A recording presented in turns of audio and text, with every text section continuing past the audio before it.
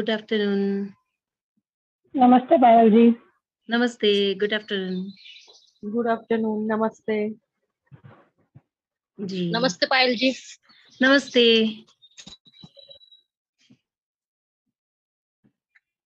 Okay कुछ लोग अभी जुड़ रहे हैं पर हम शुरू करते हैं।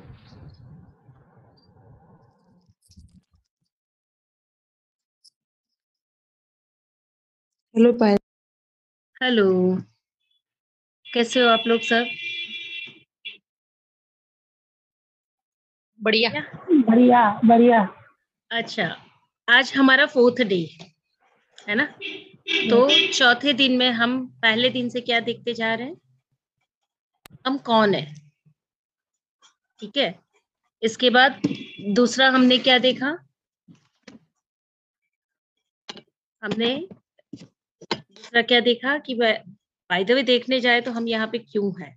वाई वी आर हियर तो हम कौन है? हम यहाँ पे क्यों है? इसको समझते समझते हम ये भी देख रहे हैं कि कैसे हम अपनी सेल्फ को मास्टर करना चाहते हैं। हम कौन है? तो हमें पहले ये नहीं पता है कि हम कौन है और उसको जानते हैं कि हम एक आत्मा है, हम एक सोल है, हम एक सेल्फ है। तो उस सेल्फ से डिस्कनेक्ट करने वाली आदतें कौन सी है? बातें कौन सी है? इसको समझते जा रहे हैं।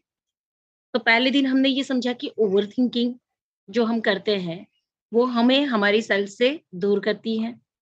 दूसरा है फियर ऑफ़ चेंज बदलाव जो लाना है, बदलाव लाने का जो डर होता है, वो भी हमें अपने आप से दूर करता है है ना? तो तीसरा हमने देखा लिविंग इन द पास्ट अगर हम भूतकाल के अनुभव के साथ ही जिएँगे या भूतकाल से ही वर्तमान के निर्णय लेंगे तो कभी भी वो इंडिपेंडेंस या कभी भी वो फ्रीडम हमें नहीं मिलती है। और इसके बाद आज का चौथा जो है, दुखदायक जो कारण कि जो हमें हमारी सेल्फ से कनेक्ट नहीं होने देता है तो उसको देखेंगे हम। पर इस सेशन को शुरू करने से पहले जब तक दूसरे लोग जुड़ जाते हैं तो हम एक कहानी से शुरू करते हैं। कई बार क्या है, जब कहानी के माध्यम से कोई मैसेज रिसीव करते हैं ना तो वो बहुत सटीक जीवन में उतर जाते हैं। बहुत आसान हो जाता है समझना। तो ज़्यादातर मुझे जो इंस्पायर्ड करती है वो कहानी होती है बुद्ध की। और बुद्ध के जीवन का जी। uh, अगर हम सेशन आगे बढ़ाने से पहले मैं एक क्वेश्चन पूछ लूँ आपसे कल के बारे में। जी। uh, जैसे हमने मिरर वर्किंग का हमने बात किया था और मिरर हाँ। में अगर हम देखते हैं तो हम अपने जो बीज हमने बोया है चाहे वो गुस्से का है इरिटेशन का है या किसी से नफरत का है फियर का जो भी है वो हमें दिखता है किसी के बिहेवियर के द्वारा रिफ्लेक्शन होता है और दूसरा आपने हमें ये कहा था कि हमें ये भी पता चलता है उसी मिरर में ये पूछना चाहती हूँ क्या उसी मिरर में हमें ये भी पता चलता है कि हमें जैसे हम जवाब नहीं दे पाते किसी को बोल नहीं पाते तो क्या वो भी हमारे मिरर में ही दिखता है हमें कि हम जब कोई हमें हमारे पर टॉर्चर कर रहा होता है तो हम आंसर नहीं दे पाते हैं। हाँ। तो वहाँ पे हमारी और, गलती नहीं होती है। ये हाँ, भी दिखता है हमें मिरर में। हाँ दिखता है। पर अगर समझ लो कि आपको ये पता चल गया कि आप जवाब नहीं दे पाते हो तो इसके लिए एक बहुत आसान प्रोसेस है। आपकी इस पैटर्न को ब्रेक करने की म्यूट करिए किसका हाँ आपकी एक पैटर्न है। कि जहाँ पे आप जवाब नहीं दे पाते तो उसके पीछे कुछ कारण है ठोस कारण है। क्या इसको इसी समय इसी समय देखना चाहेंगे कि क्यों जवाब नहीं दे पाते हो आप? हाँ जी बिल्कुल। तो आँखें बंद करिए और उस व्यक्ति को देखिए जिसको जवाब देना चाहते हो आप।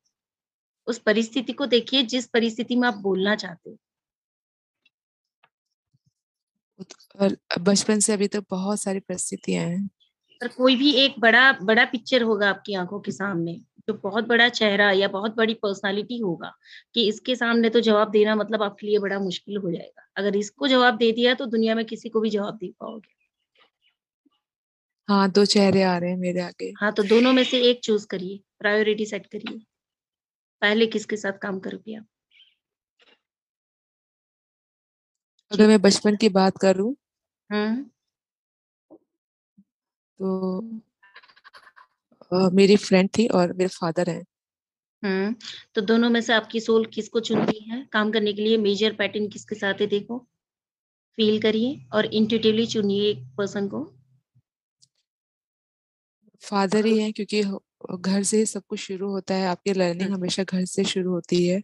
तो वहाँ से दबते दबते बहुत दूर आगे निकल गई फिर तो मैं उस इवेंट पर जाएँ। हाँ आँखें बंद करें और उनके चेहरे को देखते रहें। हम्म, आँखें बंद करें उनके चेहरे को लगातार देखते रहें। उनको देखते हुए आपके अंदर जो फीलिंग आ रही है उसे फील करें। अपने अंदर की उस सेल्फ को ऑब्ज़र्व करना शुरू करें।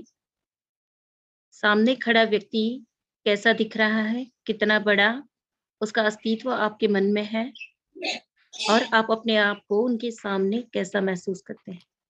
इन दोनों चीज़ों को देखिए। उनका बहुत बड़ा और अपना बहुत छोटा। Hmm okay. अपने आप को फील करते रहें।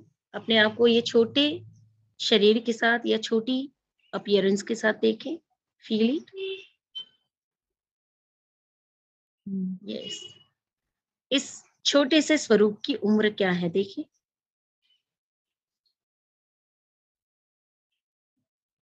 हाउ ओल्ड आर यू ग्यारह बारह साल? यस ये बारह साल का छोटा सा चाइल्ड छोटा सा स्वरूप। क्या कहना चाह रहा है? किस चीज़ का डर है उसे? क्या व्यथा है उसकी? सुने पूछे उससे डियर चाइल्ड मुझे बताओ क्या डर है तुम्हारा? क्या कहना चाहते हो? पापा से बहुत डरती थी मैं। हम्म। बहुत मारते थे पापा। Yes okay? उस चाइल्ड की आँखों में आँखें डालकर उससे कम्युनिकेट करो। उस छोटे से बच्चे की जो व्यथा है जो दुख है उसे देखो। उसकी आँखों में आँखें डालकर उसे कम्युनिकेट करो उसे कहो कि उस समय पर तुम्हारे साथ मैं नहीं थी। पर आज मैं तुम्हारे साथ हूँ। क्या तुम मुझ पर भरोसा करोगे?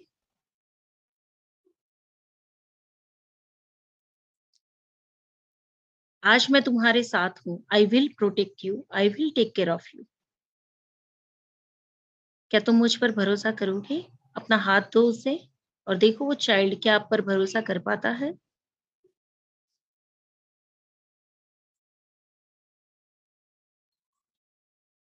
वो बस मुझे देख रहा है। Yes yes. उसे विश्वास दिलाते रहें। आप इनफ कैपेबल हैं। आज आप बड़े हैं। Be your adult wise self और उस एडल्ट वाइज सेल्फ के स्वरूप से, उस छोटे से बच्चे को कॉन्फिडेंस दिलाए कि आप मुझ पर ट्रस्ट कर सकते हो। मुझे बताओ, तुम्हारी वेलबींगनेस के लिए मुझे क्या करना है?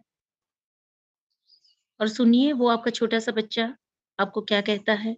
उसकी क्या डिमांड्स हैं?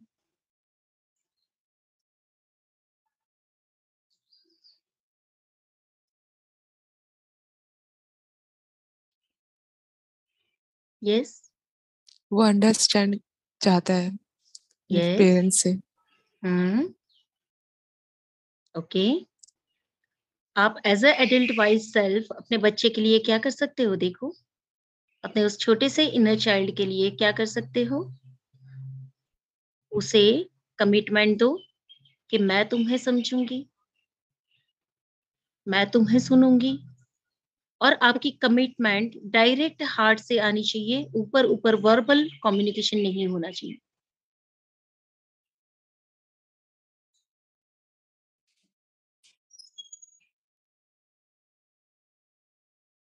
यस क्या आपकी सोलफुल कमिटमेंट है? अभी नहीं आ रहा उतना। हम्म। इंक्रीज करते जाए अपनी एडल्ट वाइज सेल्फ को।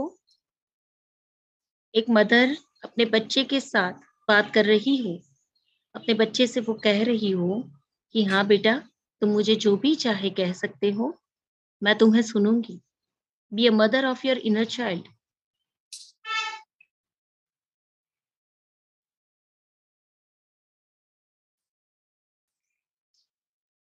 yes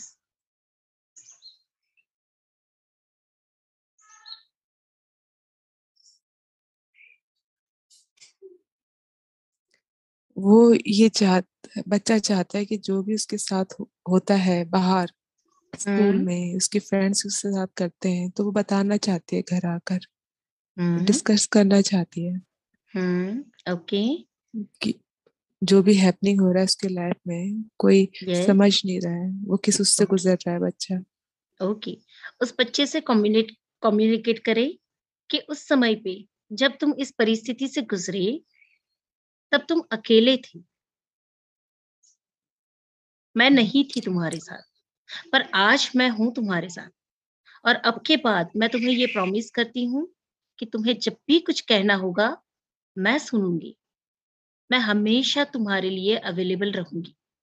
तुम मुझ पर विश्वास कर सकते हो।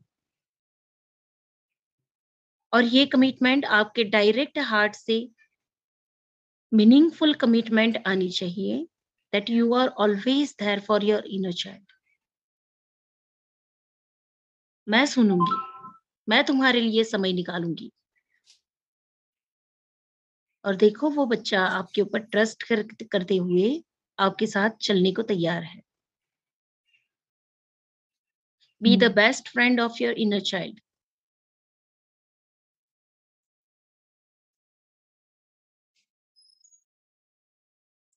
वो बच्चे से मैं देख पा रही हूँ कि वो हमेशा उसके मन में आता था कि सामने वाले को बुरा ना लगे अगर मैं कुछ बोलूँ तो। हम्म। उसको बुरा लग जाएगा अगर मैंने कुछ कहा तो। ओके तो देखिए वो आपका छोटा सा बच्चा बाहर है आप मदर फिगर में यहाँ पे खड़े हैं आप उस बच्चे को क्या विश्वास दिलाएँगे? आप बोल सकते हो मैं हमेशा तुम्हारे साथ हूँ। यस उसे विश्वास दिलाए। Be the mother figure of your inner child उसे सॉरी कहें sorry dear inner child that I have lost you उस समय पे मैंने तुम्हारा साथ नहीं दिया, मुझे माफ़ कर दो। बट आज मैं तुम्हारे साथ तुम्हारे लिए अवेलेबल हूँ। मैं तुम्हें सुनूँगी। मैं हमेशा तुम्हें फ़र्स्ट प्रायोरिटी दूँगी। तुम मुझे खुलकर जो भी चाहे बता सकते हो और मैं तुम्हारी बात सुनूँगी, समझूँगी।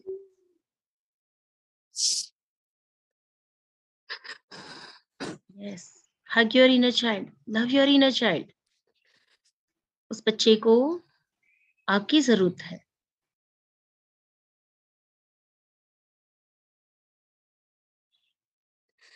Your inner child wants to be heard सुनना चाहता है वो।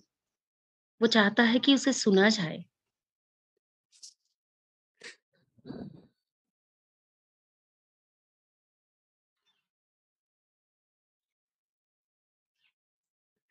बी देयर यस फील करे आप उसे हक कर रहे हैं। उसे किस कर रहे हैं। टाइटली हाँ। Hug your inner child yes accept your inner child और उसे विश्वास दिलाए कि आइंदा कभी भी तुम्हें डरने की ज़रूरत नहीं है। I am always there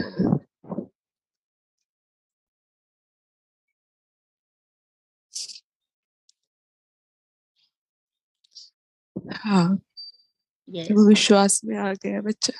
yes yes अब उसका हाथ पकड़कर उसे ले चले। देखिए उसे कहाँ जाना है? क्या करना है? उसकी क्या डिमांड्स हैं? कैसे खेलना है? जो मर्ज़ी हो उसे करने दीजिए। यू कैन फील दैट कि आपका इनर चाइल्ड पूरे तरीके से खुलकर लाइफ को एंजॉय कर रहा है। वो फ्रीली अपनी सारी बातें शेयर कर रहा है। उसे उस फ्रीडम में जाते हुए अनुभव करें।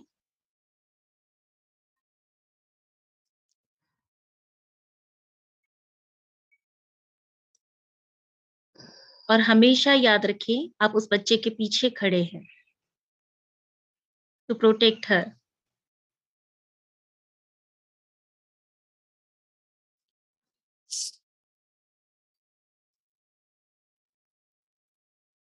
and now just open your heart space अपने हार्ट की स्पेस को इंक्रीज करते हुए अपने इस छोटे से बच्चे को अपने हृदय में स्थान दें।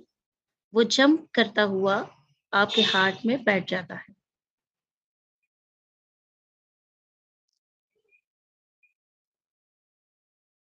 अब से तीन चार बच्चे थे। यस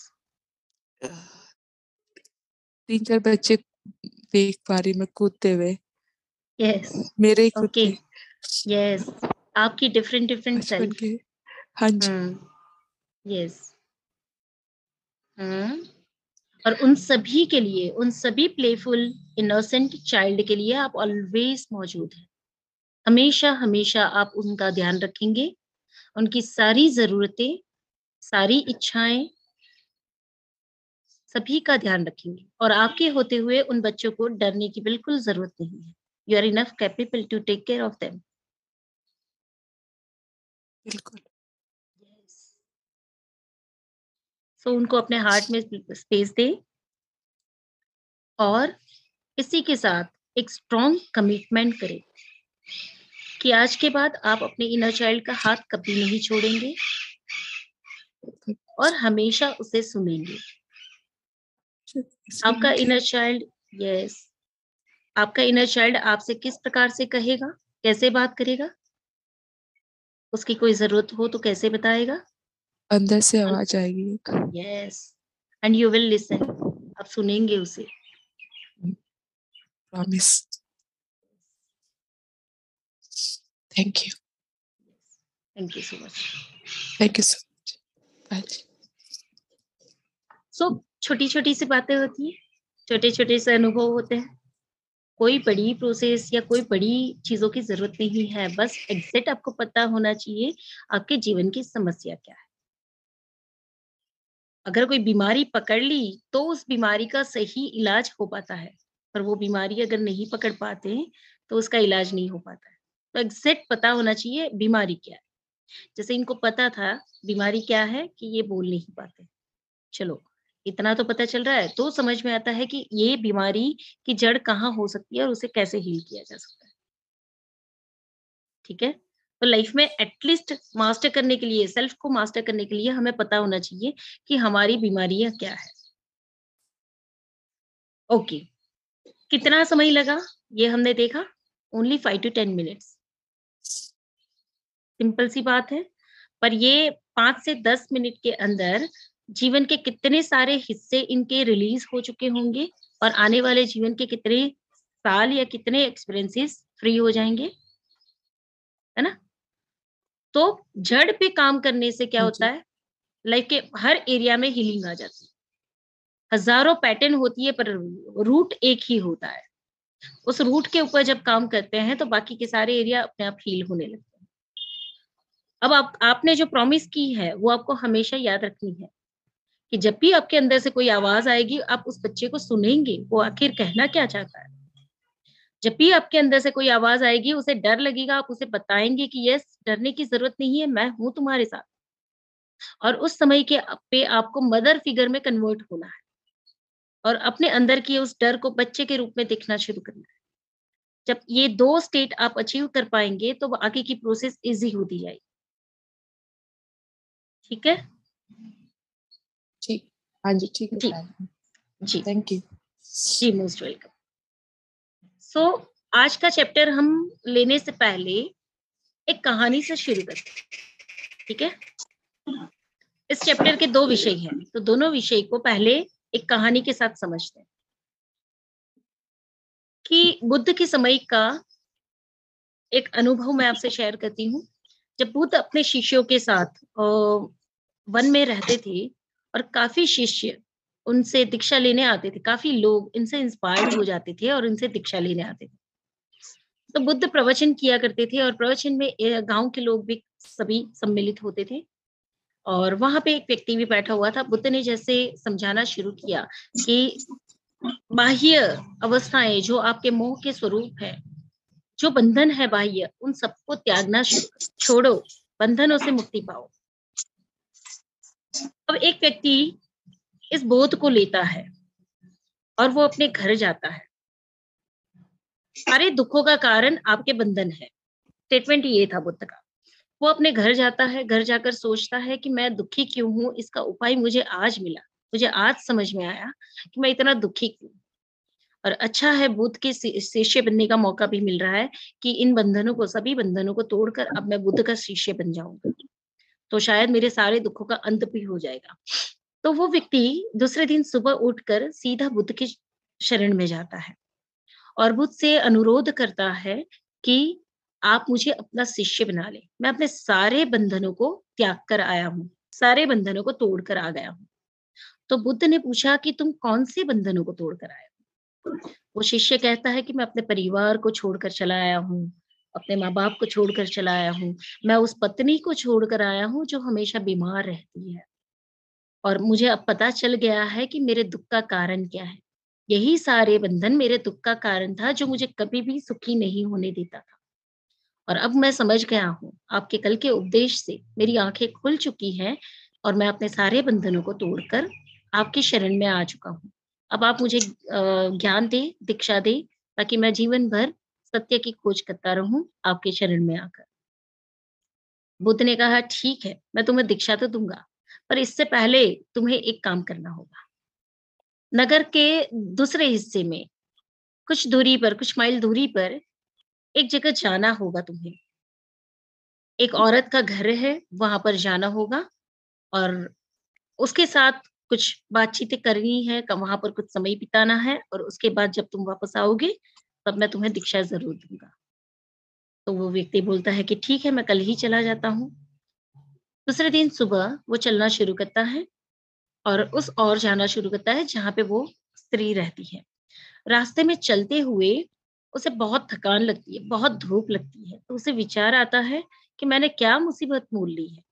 अगर इस समय पे मैं अपने घर में होता तो शायद मैं आराम से बैठा होता घर में, आराम कर रहा होता और अच्छा भोजन, स्वादिष्ट भोजन मुझे मिल रहा होता दोपहर के समय पे, पर ये तो मैं परिश्रम करता जा रहा हूँ। ये विचार उसके मन में आता है, फिर भी वो चलता रहता है, क्योंकि बुद्ध ने कहा है तो बुद्ध का आदेश मानना ज़रूरी है। तो वो चलते हुए उस औरत के घर तक पहुँच जाता है।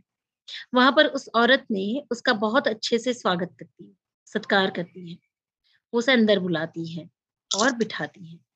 औरत का सुंदर चेहरा देखकर, वो व्यक्ति उसका चेहरा देखता रह जाता है और उसे लगता है कि कितना सौम्य इसका चेहरा है, कितनी नर्म इसकी त्वचा है और चेहरे पे कितनी शांत भाव है, कितनी मीठी आवाज़ है। उसके बाद उस औरत ने उस व्यक्ति का बहुत अच्छे से सत्कार किया और उससे दोपहर का भोजन परोसा। तो जैसे ही भोजन परोसती है, वो व्यक्ति देखता है कि थाली में वही जो पकवान बने हुए थे, जो उसने रास्ते में चलते समय सोचे हुए थे। वही खाना उसे मिल रहा था, जो वो सोच रहा था। तो उससे लगा कि शायद ये संजोग हो सकता है। वो खुशी खुशी खा लेता है। तो खाते समय उसकी नज़र उस औरत के पैरों पे पड़ती है। उसके पैर देखते ही उसके मन में विचार आता है कि इस औरत के पैर कितने सुंदर हैं, कितने नाजुक और कोमल हैं। क्या सौम्यता की मूर्त है ये औरत। उसी समय पे वो औरत बोलती है कि जिस व्यक्ति ने बुद्ध के चरणों में अपना स्थान प्राप्त कर लिया हो, उस, उसके बाह्य अंगों की क्या कीमत? और इंस्टेंट उस व्यक्ति को ध्यान आता है कि कहीं इसने मेरे मन के विचार तो नहीं पकड़ लिए तो वो थोड़ा सा शर्मिंदा हो जाता है और खाने में अपना ध्यान लगा देता है। अब इसके बाद जैसे ही वो खाना खा के उठता है तो उसे मन करता है कि अगर मैं घर में होता तो खाना खाने के बाद एक आध घंटे की नींद निकालता, थोड़ा आराम करता और उसके बाद चलता। पर यहाँ तो खा के सीधा जाना पड़ रहा है, मैं यहाँ आराम भी नहीं कर सकता हूँ। तो वो औरत तुरंत ही बोलती है कि एक काम करिए, खाने के बाद सीधा आप क्यों जा रहे हो? अब कुछ देर आराम करिए, मैं आपको पंखा लगा देती हूँ। और वो औरत बैठ कर उसे पंखा लगा रही है और वो व्यक्ति आराम कर रहा है। आराम करते समय वो सोच रहा है कि ये औरत कितनी मीठी है। कितनी सुंदर है, कितनी सौम्य है इसके जो गुण है, वो तो बिल्कुल एकदम एक दिव्य नारी जैसे है। इसे यहाँ पर नहीं, शायद मेरी पत्नी के रूप में होना चाहिए था। इंस्टेंटली वो औरत बोलती है कि बाह्य रूप में क्या रखा हुआ है? ये तो मांस मज्जा है, बाहर की चमड़ी है, ये तो मृत हो जाएगी। जो भी कुछ प्राप्त करना है, वो अंदर की आत्मा को आत्मा को प्राप्त करना है स्व स्वरूप को प्राप्त करना है। तो उस व्यक्ति को लज्जा आ रही है कि मेरे मन में न जाने मैंने क्या विचार कर दिए। और कहीं ये औरत कोई ऐसी शक्ति के साथ तो नहीं है कि जो मेरे मन के विचारों को पढ़ लेती है? तो उसने पूछा, क्या क्या आप मन के विचारों को पढ़ लेते हैं? तो उस औरत ने कहा कि जब बुद्ध की शरण में गए हैं और जब आध्यात्म की प्राप्ति कर रहे हैं, जब उच्च स्थिति को प्राप्त करते जाते हैं तो मन को पढ़ना बहुत सहज और स्वाभाविक स्थिति है। पर यहाँ तक उस व्यक्ति को ये बोध होने लगा था कि उसके अंदर विकार पैदा हो रहे हैं। अब वो तो वहाँ से सीधा निकला। जल्दी जल्दी से चल रहा है, कितनी जल्दी वो बुद्ध की शरण में चला जाए और बुद्ध की शरण में जाकर बुद्ध के पैरों में पड़कर वो पूरी बात बताता है। मैं पूरी सच्चाई बुद्ध को बताना चाहता हूँ कि मेरे साथ क्या क्या हुआ? मेरे मन में कैसे विकार आए और मुझे क्या विचार आए? बुद्ध ने उसे उपदेश देना शुरू किया कि तुम जिन बंधनों को छोड़कर आए थे, वो क्या था? ये मुझे बताओ। तो वो व्यक्ति कहता है कि मेरी बीवी हमेशा बीमार रहती थी और जब भी मैं घर जाता था, उसकी बीमारी के कारण मेरा मन परेशान हो जाता मैं अच्छा कमा नहीं पाता हूँ तो घर के लोगों को संतुष्ट नहीं कर पाता हूँ, योग्य साधन सामग्रियाँ नहीं जुटा पाता हूँ तो इसकी वजह से भी मैं व्यथित रहता था। और मेरे मन में विचार आया आपकी बातें सुनने के बाद कि मैं दुखी क्यों हूँ? मेरे दुख का कारण मेरी बीमार पत्नी है मेरे दुख का कारण मेरी कम आयु आवक है। तो इन सारी वजह से मैं इन किसी को सेटिस्फाइड नहीं कर पा रहा हूँ इसलिए मैं दुखी रह रहा हूँ। बेहतर होगा कि मैं इन सबको छोड़कर निकल जाऊँ और सत्य की प्राप्ति करना शुरू करूँ। तो इस वजह से मैं सब कुछ सारे बंधनों को छोड़कर आपके पास चलाया मैं हकीकत में अपनी पत्नी से पीछा छुड़वाना चाह, चाहता था। अपने काम से पीछा छुड़ाना चाहता था, जहाँ पे मैं सक्सेसफुल नहीं था। तो मुझे लगा था कि यहाँ पे मैं सक्सेसफुल नहीं हूँ, सफल नहीं हूँ। तो हो सकता है कि आध्यात्म की प्राप्ति में मैं सफल हो जाऊँ। इस वजह से मैं यहाँ आया था। तब बुद्ध ने बताया कि बंधनों को तोड़ना है जो अपने अंदर के काम, क्रोध, माया, लोभ और विषय विकार है। इन बंधनों को तोड़ना है, ताकि आप अपने बाह्य कर्मों, बाह्य परिस्थितियों या बाह्य व्यक्तियों को छोड़कर निकल आओ। सही मायने में मुक्ति तब मिलती है जब आप अपने कर्मा को पूरे तरीके से करते हो पर बंधनों में बंधे बिना। तो वाकई ही कौन से बंधनों को तोड़ना था? तुम एक बीवी को छोड़कर निकले थे, एक पत्नी को छोड़कर निकले थे। वो बंधन, तुम्हें लगा कि तुमने बंधन छोड़ा, पर जब दूसरी औरत को देखा तो तुम्हारे मन में उसको पत्नी बनाने का विचार आया। तो तुम्हारे अंदर की वासना या विकार तो साथ साथ में चल ही रहे हैं। कौन से बंधन छूटे? तो कहानी का सार ये है कि आध्यात्मिक रास्ते पे जब हम निकल जाते हैं तो कहीं क्या हम अपने जीवन की परिस्थितियों को मास्टर नहीं कर पाते, इसलिए एक सब्सटीट्यूट एक ऑप्शन ढूंढ लेते हैं आध्यात्मिक होने के लिए। क्या ये स्पिरिचुअलिटी हमारा कोई मास्क तो नहीं है? अगर बंधन तोड़ने हो तो आपके अंदर के अज्ञानता के बंधन तोड़ने होंगे। बाह्य परिस्थितियों को छोड़कर, घर के लोगों को छोड़कर, घर की परिस्थितियों को छोड़कर या किसी फ़ील्ड में, किसी क्षेत्र में आप मास्टरी नहीं पा रहे हो तो उस विषय को अधूरा छोड़कर दूसरे विषय को मास्टर करने हम निकल जाते हैं। ऑलमोस्ट हमारे सभी के साथ ऐसा होता है। आध्यात्म को एक मास्क की तरह हम उपयोग कर लेते हैं। यहाँ पे तो हम सफल नहीं हुए। रिश्ते तो हम बेहतर नहीं बना पाए। रिश्तों को तो हम जीत नहीं पाए। फाइनेंस को तो इम्प्रूव नहीं कर पाए पर आध्यात्मिक उन्नति तो हम कर सकते हैं। इसको छोड़ के इसको पकड़ना शुरू कर देते और यही जीवन की सच्चाई है शायद हम सभी की। जब बंद आँखों से यस जी मैम आप जो बोल रही हैं बिल्कुल करेक्ट है। जी। हाँ हम हम यही करते हैं कि जब हम लड़ नहीं पाते हैं ना मतलब चीज़ों को सॉल्व नहीं कर पाते हैं तो वाकई में हम मास्किंग करते हैं क्योंकि हिम्मत तो होती नहीं है अंदर उन चीज़ों को फेस करने का। ये तो उसी इंसान की तरह से हो जाता है। जैसे कुछ इंसान होते हैं ना कि आ, मतलब घर की चीज़ों को नहीं संभाल पाते तो बाहर के लोगों से जाके मिलना जुलना बढ़ा देते हैं। घर के लोग ही बुराई करते रहते हैं। उन तो चीज़ों को ना समझ पाना। इसको कहते हैं प्रोटेक्टिव मैकेनिज्म इस धरती पे इस संसार में या इस समाज में सरवाइव करने के लिए बहुत सारी आदतें हमने अपना लिया है ढांचा बना लिया है।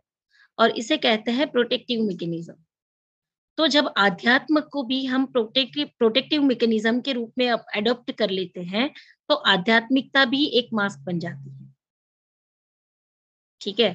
तो जनरली क्या होता है कि हम सभी दो घंटे, तीन घंटे आँख बंद करके बैठना चाहते हैं। और जब आँखें बंद करते हो ना तो बाहरी दुनिया से हम डिस्कनेक्ट होते हैं और आंतरिक दुनिया में वो प्रकाश को ढूंढना शुरू करते जहाँ पे कुछ देर के लिए आपको शांति का अनुभव, अपनी अंदर की दुनिया में शांति का अनुभव होता है। और आपको लगता है कि आ हा हा आप कितना विकास कर रहे हो, आप आत्मा के स्तर पे कितनी उन्नति प्राप्त कर रहे हो। पर जब आँखें खुलती हैं और सामने वही रिश्ते, वही लोग खड़े होते हैं या वही चैलेंजेस खड़ी होती हैं तो वहाँ से पलायन हो जाते हैं। उसे मास्टर नहीं कर पाते, उसे आप डील नहीं कर पाते। पर जब आँखें बंद करके बैठते हैं तो यहाँ पे बड़ा गहरा प्रकाश या बहुत सारे रंग दिखते हैं। कई बार ईश्वर भी दर्शन दी जाते हैं, कई बार चक्रा भी स्पिन कर जाते हैं, बहुत कुछ होता है। ये सच्चाई होती है या भ्रम होते हैं? बस इसे देखना है। अगर अंदर इतनी उन्नति हो रही हो और आपके बाह्य जगत में उन्नति नहीं हो रही हो इट मीन्स कि कुछ गलत हो रहा है। मैम बाहर बिना बाहर उन्नति हुए अंदर कैसे उन्नति हो सकती होती है ना। मतलब चक्र चक्र मन की दुनिया मतलब में मन की दुनिया में तो मन कुछ भी कर सकता है। मन की दुनिया में तो आप बहुत कुछ पा सकते हो। लेकिन ऐसे कहते हैं ना कि आध्यात्मिक में तो अंदर जाना है। मतलब हाँ। बाहर छोड़ के अंदर जाओ अपने अंदर जाओ हाँ। भीतर है सब कुछ। हम्म पर तो भीतर कहाँ जा पाते हो? आप भीतर कहाँ जा पाते हो? कल्पनाओं में रहते हो आप। आज्ञा चक्र पे ध्यान लगाते हो वहाँ प्रकाश दिखना शुरू करते हो आप। हाँ। भीतर कहाँ? कहाँ भीतर गए? और मैम तो भीतर कैसे जाना है? मैम जो हम लोग बोलते हैं कि हम कोई कोई काम अगर नहीं होता है हमारे हमारे मुतालिक तो हम बोलते हैं कि नहीं हमने तो सरेंडर कर रखा है। तो क्या ये भी मास्किंग है? तो सरेंडर कर रखा है तो आपके मुताबिक काम हो या ना हो उससे क्या लेना देना? हुआ तो जश्न मनाना है और नहीं हुआ तो उसको बोलना है कि तेरी मर्ज़ी मैं तो सरेंडर हूँ। और भीतर कैसे जाना है? जैसे अभी आपने एक एक्सरसाइज की जिसमें आप छह साल की या ग्यारह साल की बच्ची के रूप में भीतर जाके ही पहुँचे ना? हाँ जी। तो वैसे ही भीतर जाते हुए कहीं भी पहुँच सकते हो ना? बिल्कुल। तो तो भीतर वो कैसे जाना है? है। तो वो मन मन तो कहाँ कहाँ लेके जाता है फिर हमें? हमें कैसे पता चलेगा हम मन के उसमें द्वार में जा रहे हैं या भीतर जा रहे हैं? कैसे डिफरेंशिएट कर जब पाएँगे? जब एक कुएँ में उतरते हो ना तो रस्सी पकड़ हम्म। के नीचे उतरते हो ना कुएँ में गहरे कुएँ में जब उतरते हैं तो ऊपर से बाहर की एक रस्सी को पकड़ के नीचे उतरते हैं। हम्म। तो भीतर जाने के लिए एक रस्सी पकड़नी होती है वो आपके सांसों की रस्सी होती है। अच्छा। और सांसों के माध्यम से जितना भीतर जाते जाओगे उतने भीतर और गहराई में आप जाते जाओगे। एक ही रस्सी होती है वो आपकी साँसें होती है। तो चक्रास में ध्यान नहीं लगाना अपना रूट चक्रा किसी चीज़ में कभी ध्यान नहीं लगाना है। किसी चक्रा हम्म, पे किसी बाह्य पॉइंट पे किसी चीज़ पे ध्यान नहीं लगाना है। ध्यान लगाना है आपके अंदर की अस्वाभाविकताओं पे। बाह्य परिस्थिति को पहले पकड़ो। जैसे अभी आप किसी से खुल के बोल नहीं पा रहे थे ये बाह्य परिस्थिति है। हम्म अब उसका कारण आपके भीतर में है।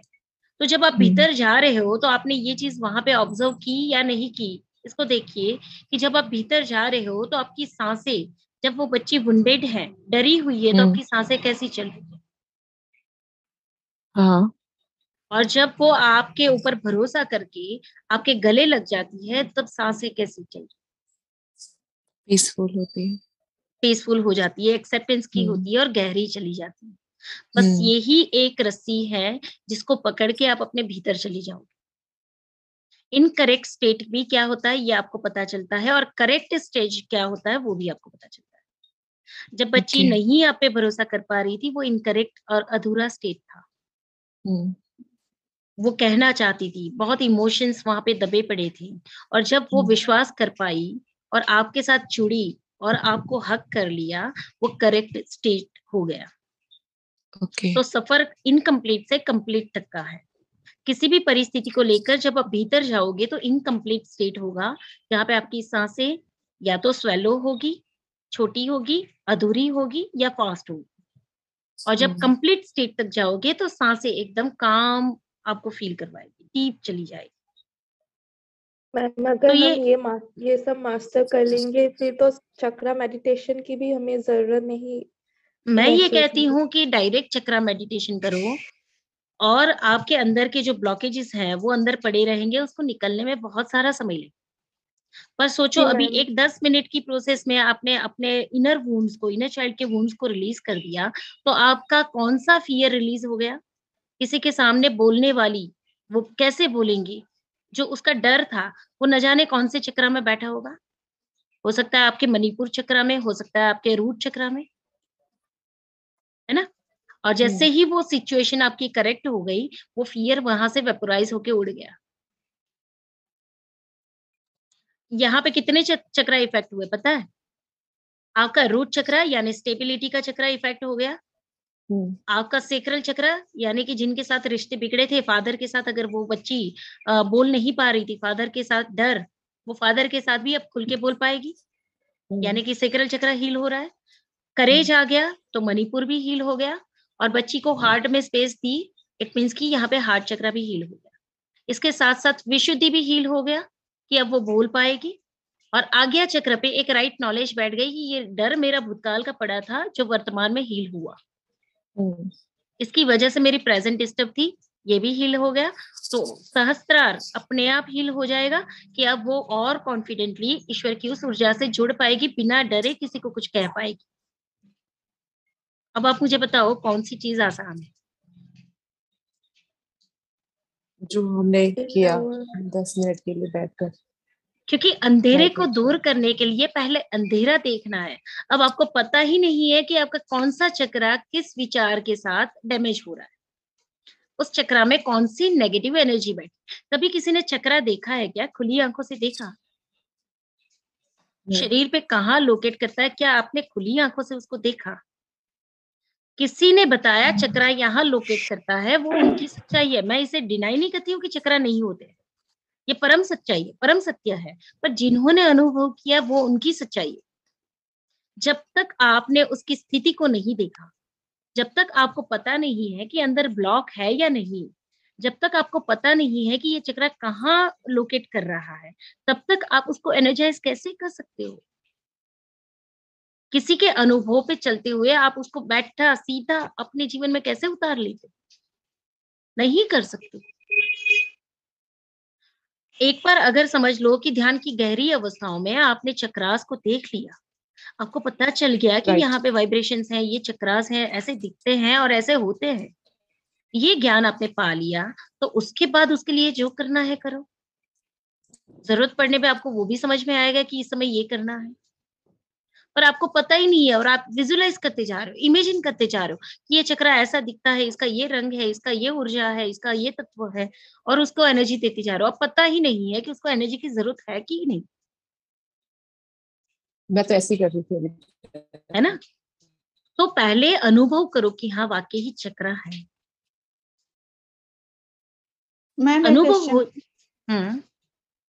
मैम जैसे क्या होता है कि हम लोग को जब परिस्थितियों से निपटना होता है या किसी भी मतलब जो भी चीज़ें होती हैं तो उस वक्त हम निपटना तो चाहते हैं, बट माइंड जो होता है ना तो ऐसा कुछ सजेशन दे रहा होता है, ना अंदर से कुछ ऐसा सुनाई पड़ रहा है बहुत सारी जगहों पे ऐसा होता है तो मन एकदम से शांत वाली अवस्था में चला जाए। जैसे कि कोई बहुत क्रिटिकल सिचुएशन, वहाँ आपको हार्ड एक डिसीज़न लेना हो और आप सोच रहे कि अच्छा क्या लू क्या लू तो वहाँ क्या होता है कभी कभी माइंड जो है और आंतरिक जो भी चीज़ें हैं वो कुछ भी गाइड नहीं अचानक से एकदम शांति में चले मतलब कोई सोल्यूशन नहीं दिखता है। और फिर हम कई बार जी मैम। इस परिस्थिति को मैं जरा सा एग्ज़ाम्पल के साथ बताऊँ है ना? आप मालिक हैं ठीक है? और आपके घर में नौकर भी हैं। अब आपके घर के बड़े बड़े फैसले आपको जब लेने हैं तो आप आप क्या दिमाग काम नहीं करता है? बुद्धि वहाँ पे उत्तर नहीं देती है। और वो नौकर जो होता है ना वो आपके बिहाफ में सारे डिसीज़न ले लेता है। बड़े बड़े डिसीज़न बड़े बड़े पेमेंट के ट्रांस ट्रांसफ़र भी वही कर लेता है।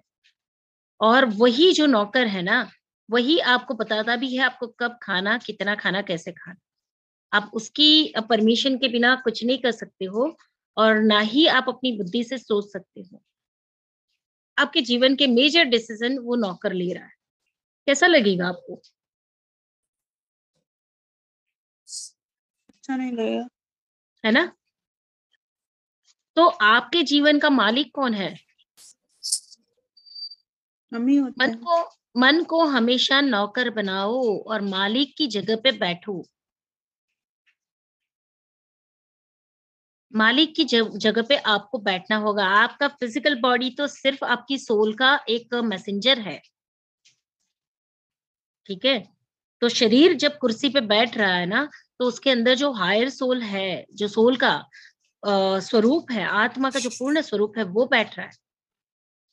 उस कुर्सी पे शरीर जो बैठ रहा है, वो आत्मा का स्वरूप बैठ रहा है। शरीर तो उसका मैसेंजर है आउटर फॉर्म तो मालिक वहाँ पे आपकी आत्मा है, आपकी सोल है, आपकी हायर सेल्फ और नौकर आपका मन है।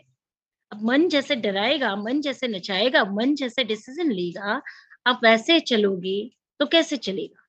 तो जब भी डिसीज़न नहीं ले पाते ना, वहाँ पे समझो कि आपका नौकर आपको नचा रहा है और मालिक अपनी बुद्धि को भ्रष्ट कर रखा हुआ है। दब के बैठी है जब वो अपने पूर्ण स्वरूप में नहीं है, अपने ज्ञान में नहीं है, तब तक वो नौकर के इशारे पे नाचेगा पर जिस दिन उसे एहसास हो जाएगा कि मालिक तो मैं हूँ, मैंने कैसे उसको इतनी पावर दे दी है? कितनी अथॉरिटी मैंने उसको दे रखी है? उस दिन आप क्या करोगे? भाई उसका पूरा पावर अपने हाथ में लोगे और उसको धक्का मारोगे कि भाई निकलो। आज तक तूने मुझे बहुत नचाया, पर अब तेरी एक ना चले। तुझे अगर मेरे आदेशों का पालन करना है तो कर, वरना तू कोई और स्थान ढूंढ ले। तो नौकर से ये व्यवहार कर सकते हैं तो हम हमारे मन से क्यों नहीं कर सकते?